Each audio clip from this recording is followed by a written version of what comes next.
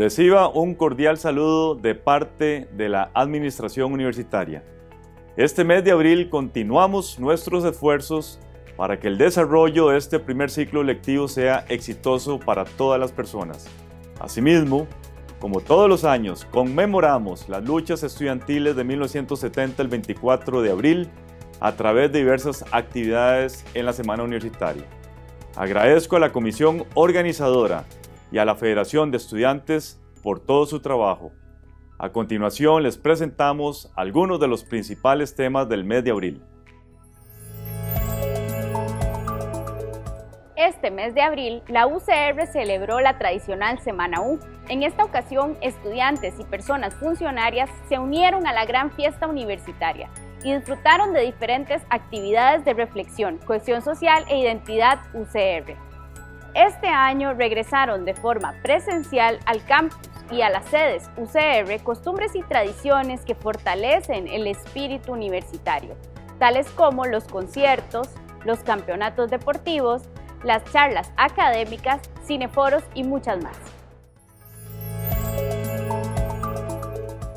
Luego de un proceso de varios años, el Viceministerio de Transporte Marítimo y Aéreo del Ministerio de Obras Públicas y Transportes finalmente reconoció a la Universidad de Costa Rica como centro de formación marítimo con autoridad para emitir títulos reconocidos de licenciatura en Marina Civil.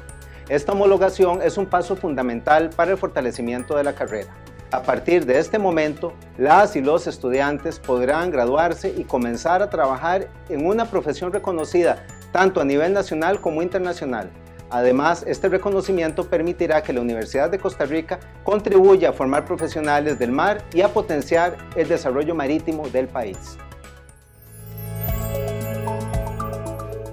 En aras de fortalecer la transparencia y el acceso a la información pública, la Oficina de Registro e Información de la UCR creó una sección dentro de su sitio web en la que cualquier persona puede consultar los títulos obtenidos por las personas graduadas de la institución. Antes, este trámite debía ser gestionado por medio de una solicitud escrita u oficio. En cambio ahora, con un celular o una computadora, cualquier persona tiene acceso a esta información de manera simple y rápida. Esto facilita la verificación para empleadores y prensa, además de fortalecer el ejercicio ciudadano del derecho a la información.